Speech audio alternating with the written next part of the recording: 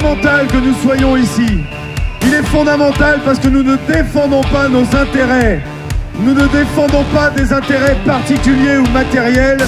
Nous défendons la dignité inconditionnelle de l'homme, de tous les hommes.